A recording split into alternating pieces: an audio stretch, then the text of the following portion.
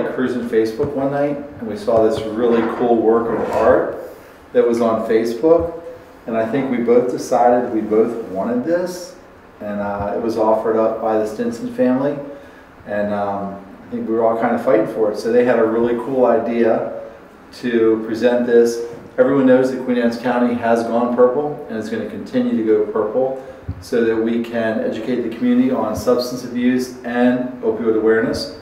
And uh, I'll tell you one thing, this is a beautiful piece of art and uh, tell us how now going from your home to our hands.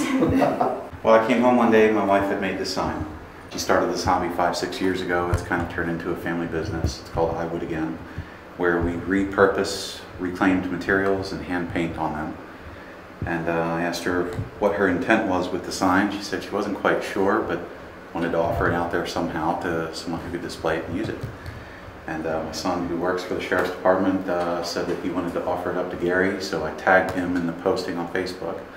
And that's when we had this little uh, competition over who was going to get it. And uh, Gary uh, said, you know, they really want it here and it would be the perfect location, so he wanted to have us present it to you. Uh, then we found out where you were displaying it. You said that maybe something a little bigger might be better, and and uh, Marci and I decided that we were going to make a larger one for you and allow Burkeley to go ahead and give this to his boss.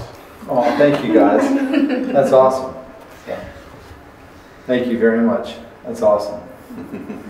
Yes, thank you very much for making this larger piece for us. We appreciate Absolutely. your support and our support for Queen Anne's County Goes Purple. Definitely, it's a good cause. The name of the business is iWood Again, and we make custom and stock wooden signs.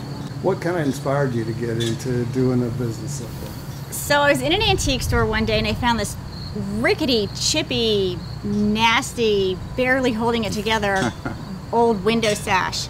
And it was the coolest thing. I, I was thinking, there's got to be something that I could do with this thing. So I bought it and I came, I brought it home and started looking up online ideas with what you can do with old wooden window sashes. And it eventually became a chalkboard, and I would just kind of Took over the house? yeah, well, that too. But it kind of morphed and blossomed from there into what it is today.